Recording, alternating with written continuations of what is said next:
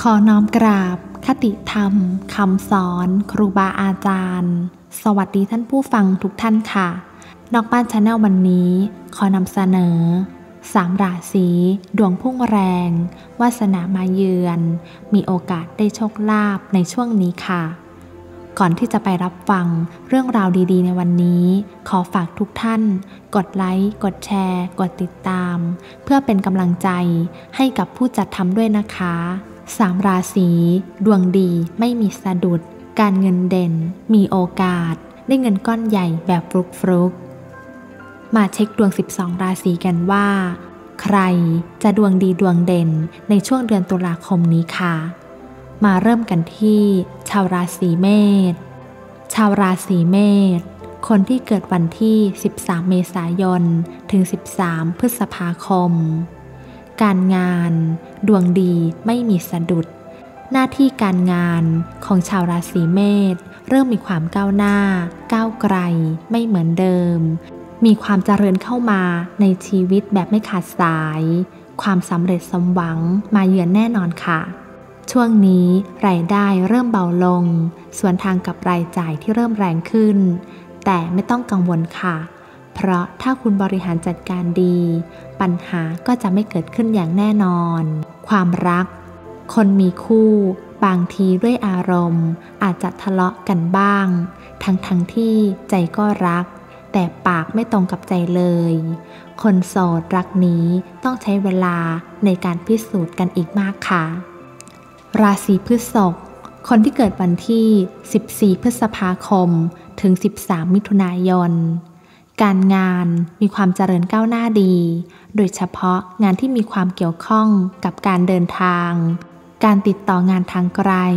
งานต่างจังหวัดต่างประเทศ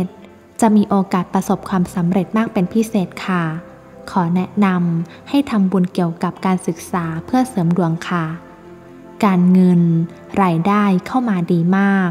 ทำให้ชาวราศีพฤษภมีแนวโน้ม จะเริ่มเก็บเงินได้มากขึ้น ความรัก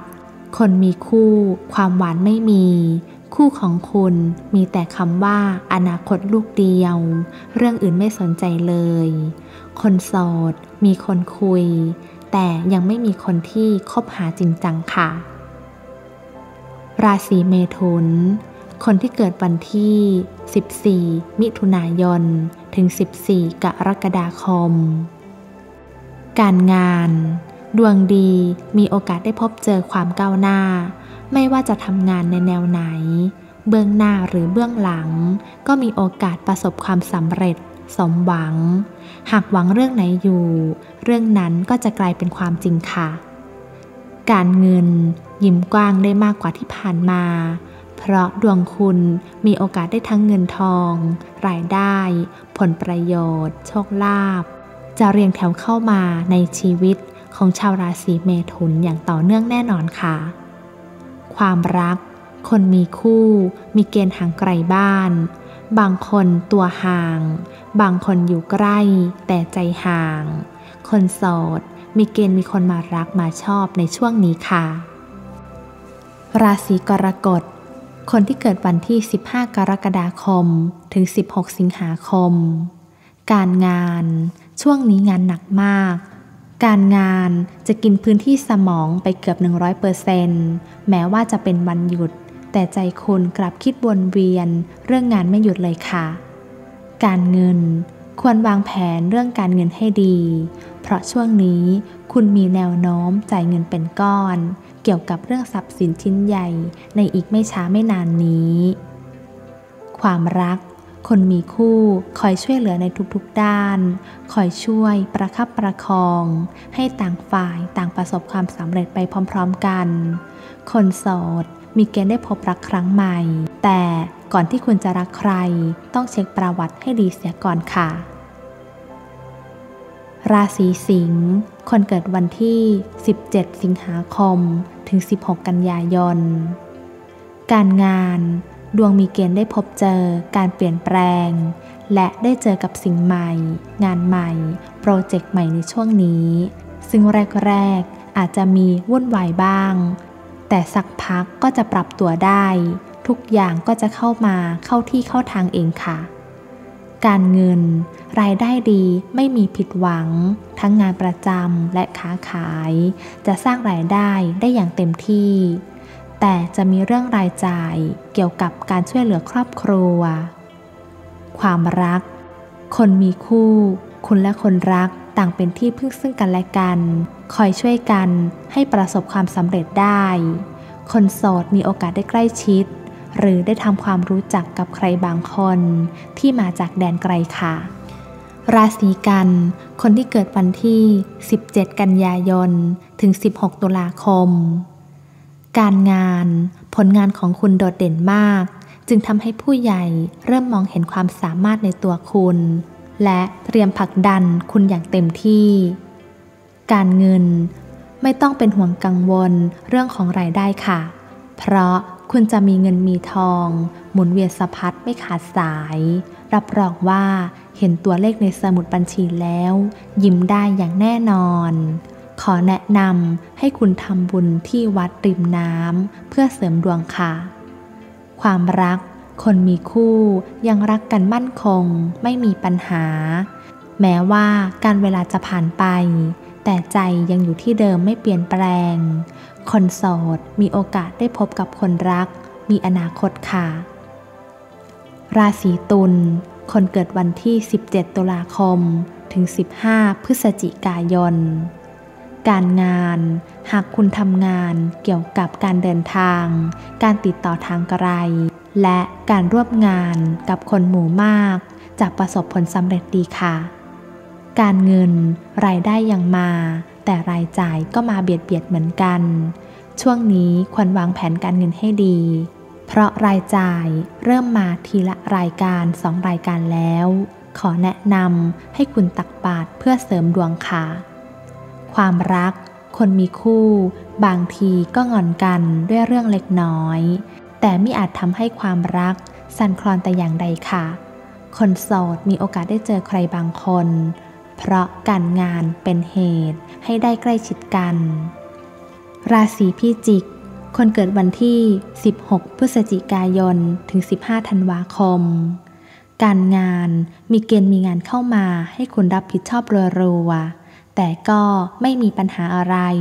แค่จะทำให้คุณเหน็ดเหนื่อยก็เท่านั้นเอง เรื่องของความสำเร็จนั้นก็ยังปรากฏให้เห็นอยู่เรื่อยๆค่ะ การเงิน